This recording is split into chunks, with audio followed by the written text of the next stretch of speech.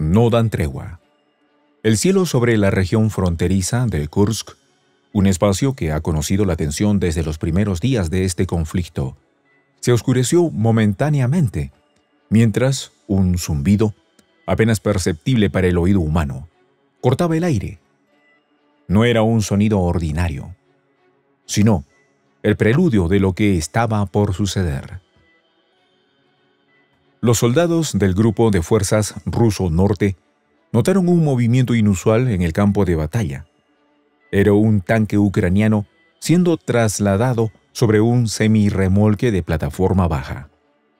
El mando ruso, después de una breve consulta, dio la orden atacar. Y así, el Lancet, una munición merodeadora diseñada para causar destrucción precisa y letal, fue encendido. Los detalles a continuación.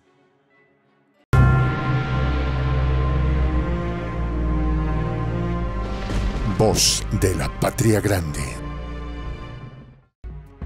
Los corazones de los soldados rusos, quienes llevaban horas en un minucioso reconocimiento en la zona, se aceleraron, conscientes de la oportunidad que se les presentaba.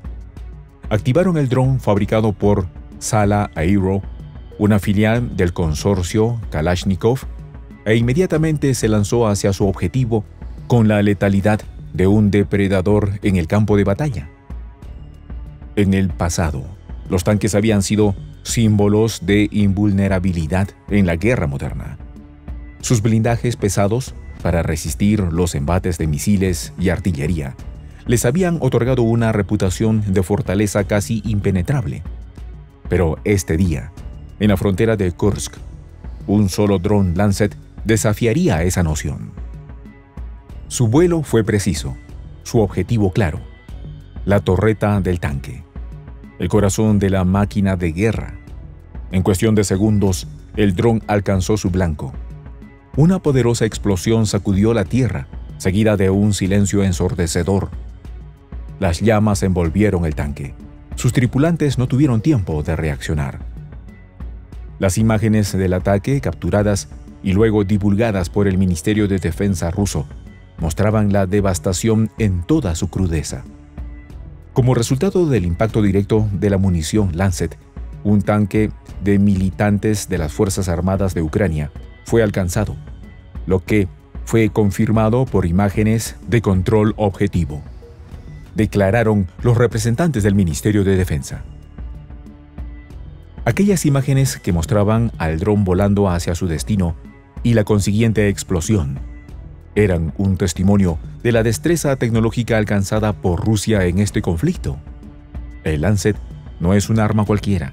Su capacidad de merodear en el aire, identificar objetivos con precisión y lanzarse contra ellos, ha transformado la dinámica de la guerra moderna.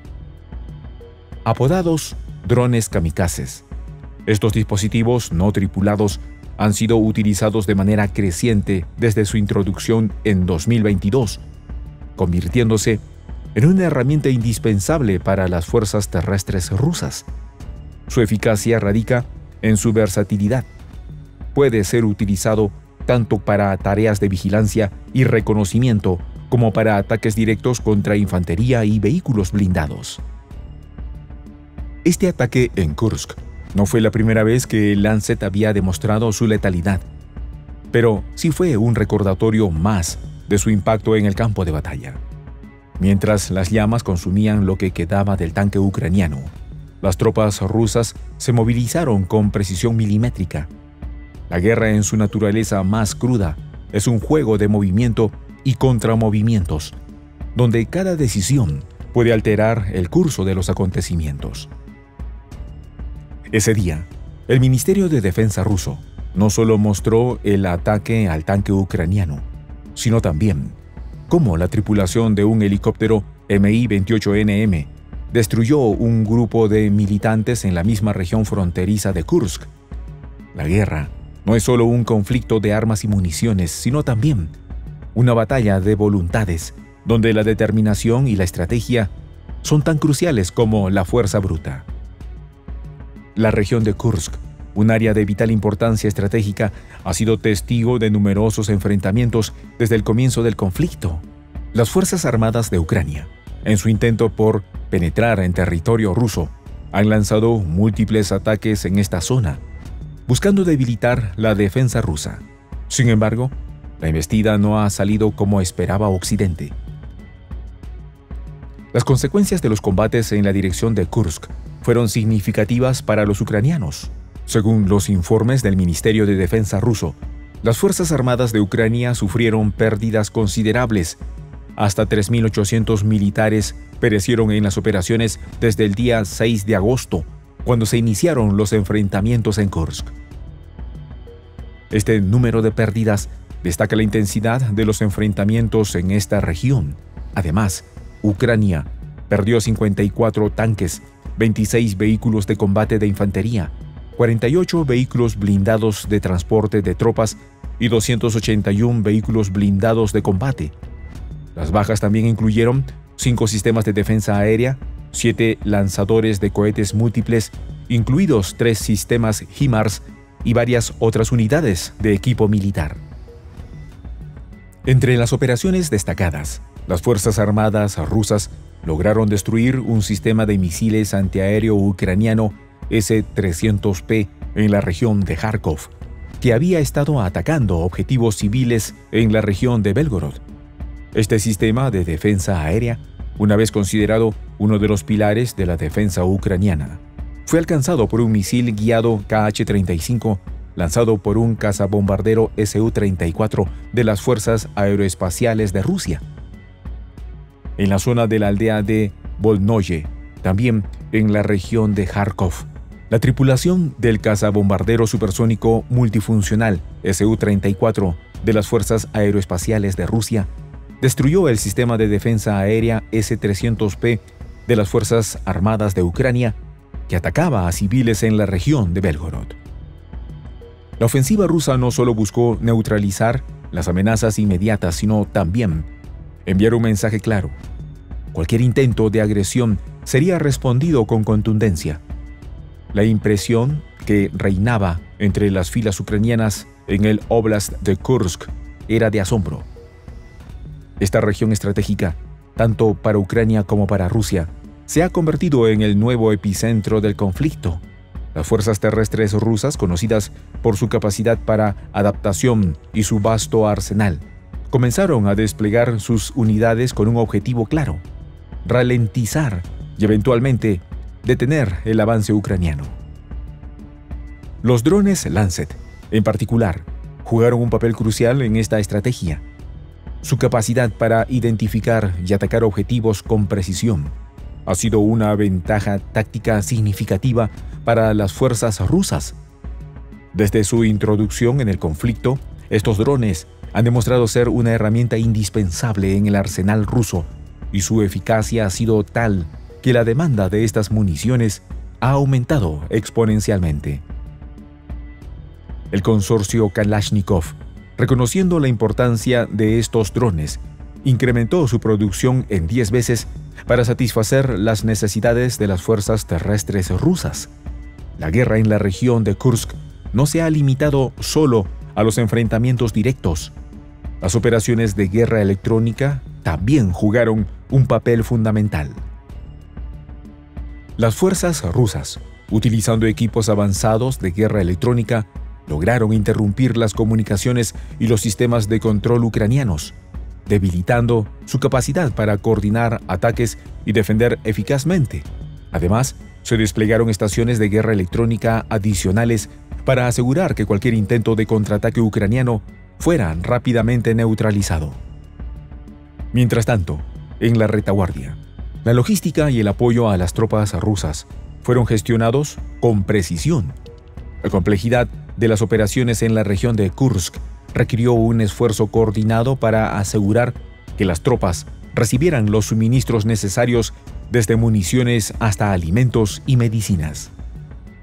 Los convoyes de suministros, protegidos por Fuerzas Armadas, se mueven constantemente hacia la línea del frente, garantizando que las unidades rusas puedan mantener su impulso ofensivo. A medida que el conflicto se ha intensificado, La población civil de la región de Kursk también enfrenta desafíos considerables. La guerra, en su cruda realidad, no solo afecta a los soldados en el campo de batalla, sino también a los civiles que se encuentran atrapados en el medio. Las evacuaciones organizadas por las autoridades rusas han sido esenciales para proteger a los residentes de los asentamientos más cercanos a la línea de fuego. Los centros de alojamiento temporal se llenaron rápidamente, pero el apoyo del resto del país aseguró que nadie quedara desatendido. El presidente Putin, consciente de la gravedad de la situación, instó a todas las regiones a contribuir con lo que pudieran para ayudar a los desplazados. La solidaridad nacional se ha puesto de manifiesto cuando camiones cargados de suministros llegan a los centros de evacuación. Ropa, alimentos, medicinas y otros artículos esenciales han sido distribuidos entre los evacuados, quienes encontraron en la solidaridad de sus compatriotas un consuelo en medio de la adversidad. La guerra, sin embargo, es impredecible a pesar de los esfuerzos rusos por asegurar la región de Kursk. Los combates continúan, con nuevas ofensivas y contraofensivas lanzadas casi a diario. Cada día trae nuevos desafíos, nuevas pérdidas y nuevas historias de valentía y sacrificio. Las cifras de bajas aumentan y con ellas la determinación de las tropas rusas de asegurar una victoria en este frente crucial.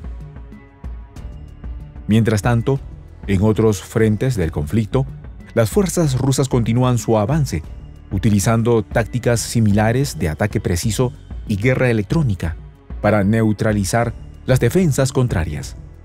Cada operación exitosa refuerza la moral de las tropas y envía un mensaje claro a las fuerzas ucranianas.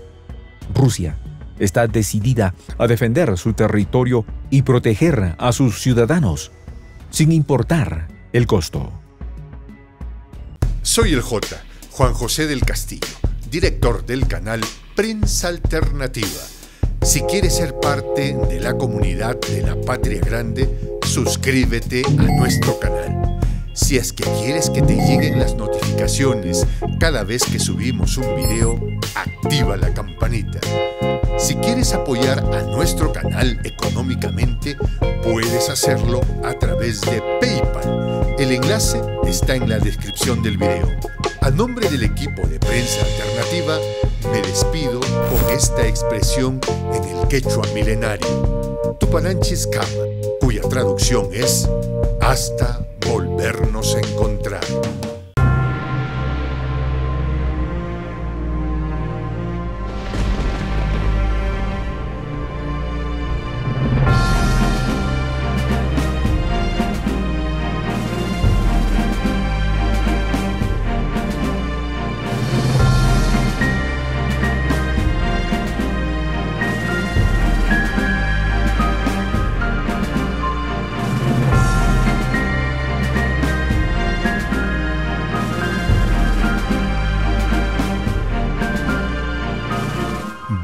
De la Patria Grande.